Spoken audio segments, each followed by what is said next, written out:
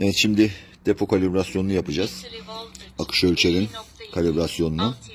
2.4 8 0.0 Buraya girelim. Yüzde yüz yapalım. Hadi bismillah.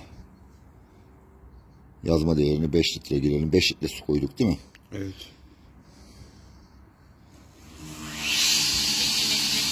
Orayı da gel buradan böyle çek. Alta eğip.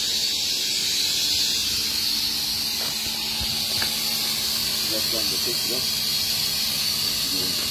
Görünüyor mu şöyle? Aynen.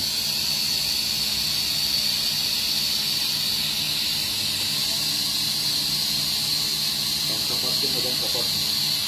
Duydun mu?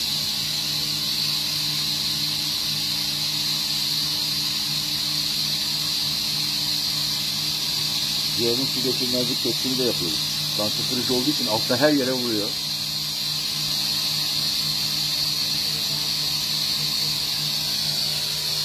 Güzel serinledik ama. Güzel.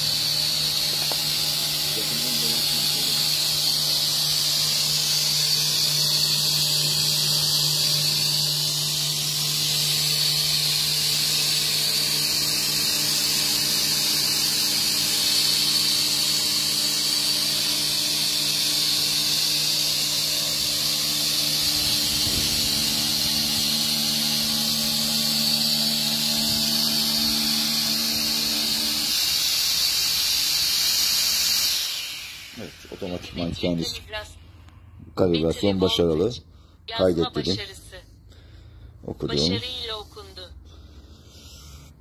5 litre görünüyor mu oradan? Evet. Tam 5 litre olarak göstermiş akışımız. Tamam.